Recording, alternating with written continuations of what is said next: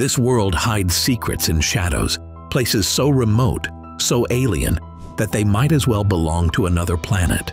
People searched for Atlantis or El Dorado for centuries. According to his sources, El Dorado sits on the shores of a river deep in the Amazon rainforest. But maybe we were looking in the wrong places. Deep underground, beneath glaciers, in forgotten mountains or sealed caves, lie hidden realms untouched by human hands.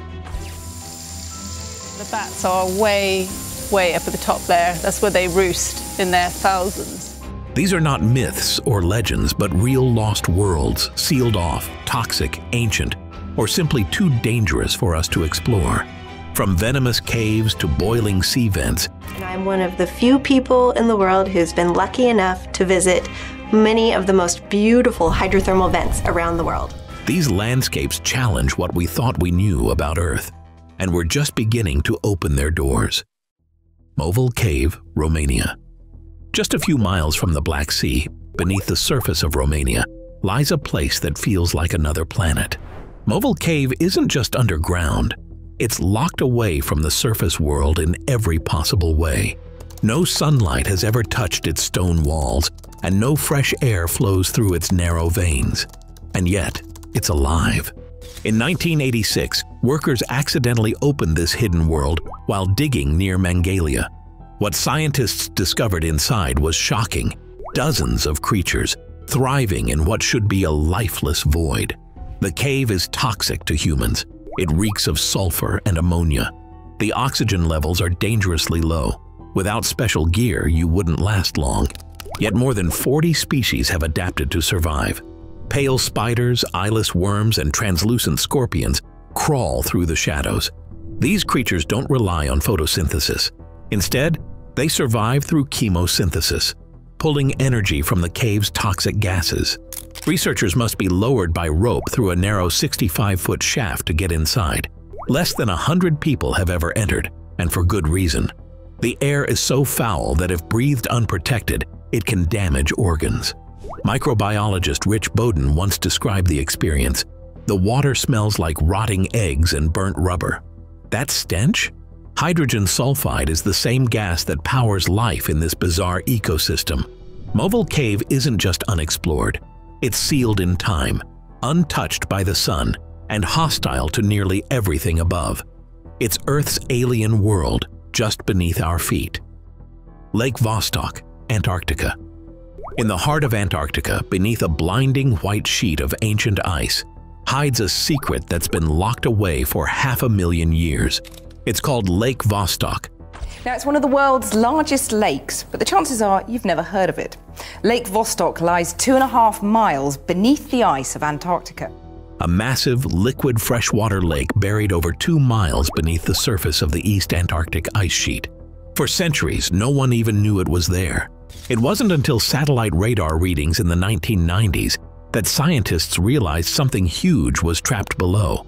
The idea of liquid water under all that ice seemed impossible. But in 2012, Russian researchers finally drilled through more than 13,000 feet of solid ice. When they reached the lake, pressurized water surged through the borehole, carrying secrets from another time. Unfortunately, the first sample was contaminated by kerosene and freon used during the drilling. But in 2015, a second attempt brought back a cleaner result, which amazed the world microbial life unlike anything seen on the surface, organisms that may have lived in isolation for over 400,000 years.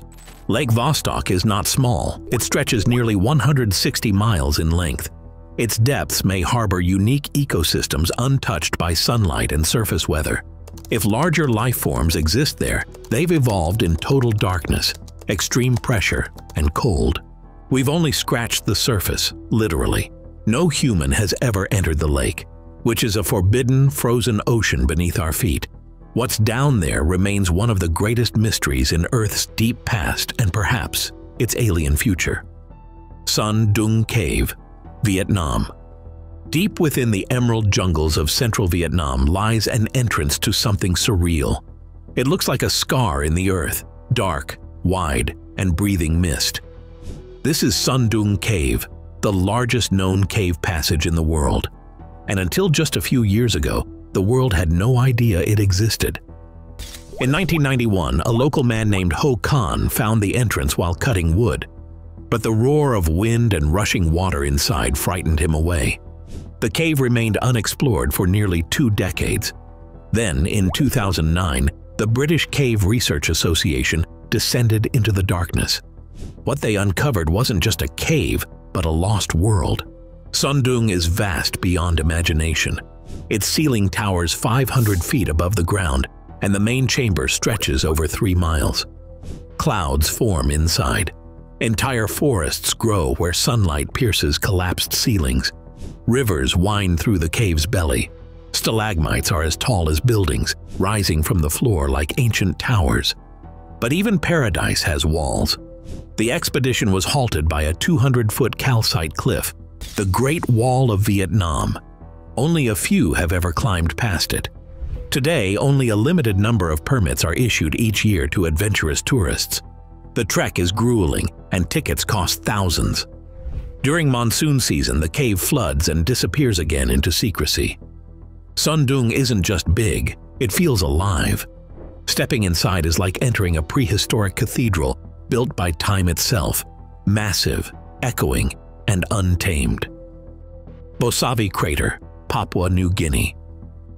High on the Great Papuan Plateau, in one of the most remote corners of Papua New Guinea, a collapsed volcano hides a secret. From above, it looks like a giant bowl carved into the jungle. This is the Bosavi crater, once a roaring volcano, now a rainforest sealed off from the outside world. It wasn't until 2009 that a team of scientists, with the help of local guides, dared to descend into this natural fortress.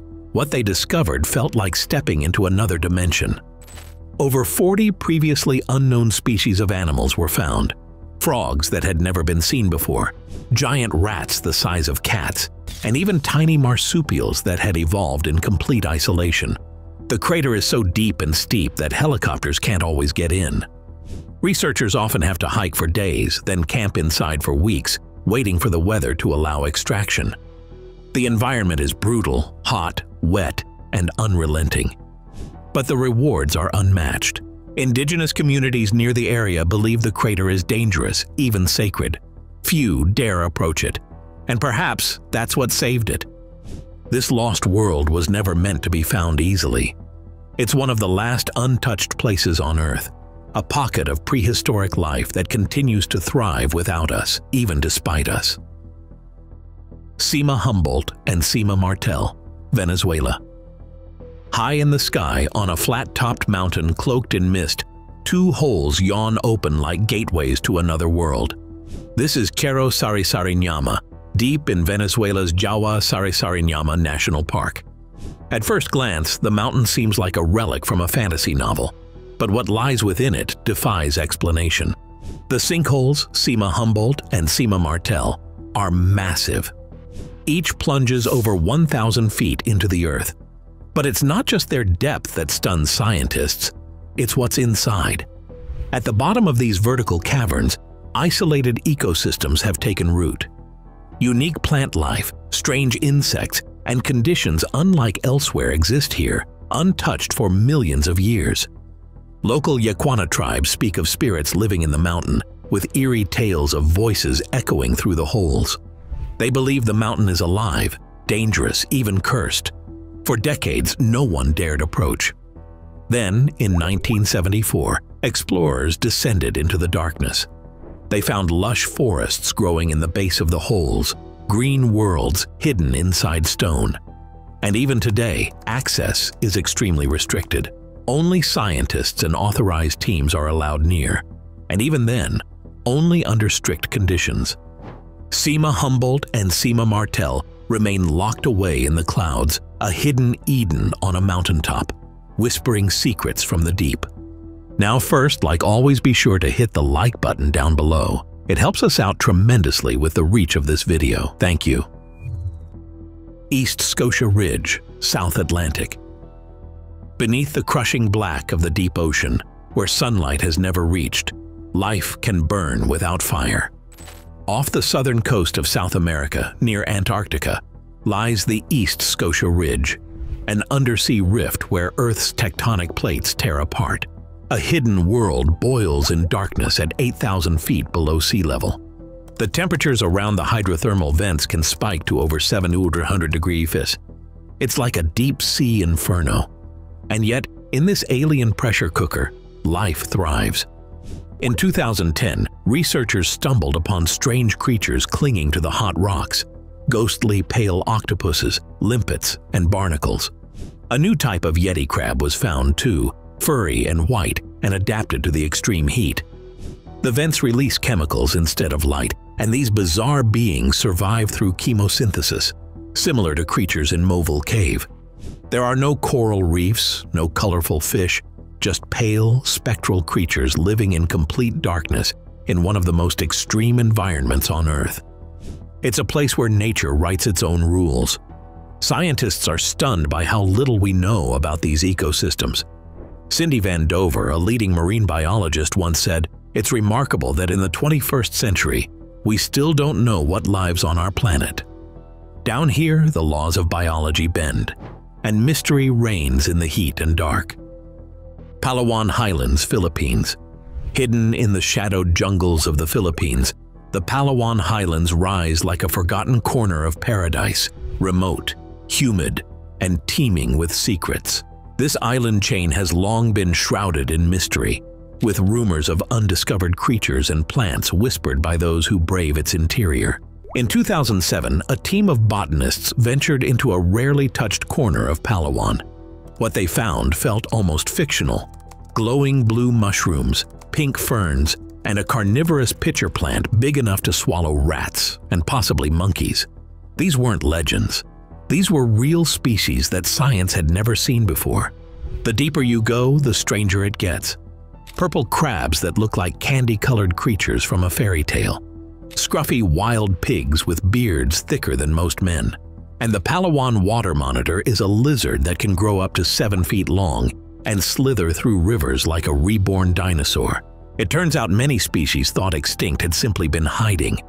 The highlands had kept them safe, locked away in lush forests and cliffs. With each expedition, new life is catalogued, but much of the region remains unexplored, too dense and dangerous for casual study. In Palawan, the Earth feels young again, untamed, vibrant, and just waiting to reveal what it's been hiding all this time. Mount Roraima, Venezuela.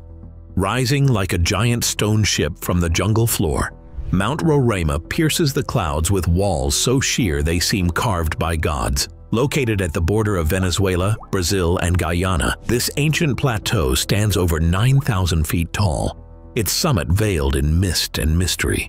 To the native people of the Gran Sabana, Mount Roraima isn't just a mountain, it's a sacred relic, the stump of a once mighty tree that held the fruits of the world. The mythology is rich, but the reality is just as staggering.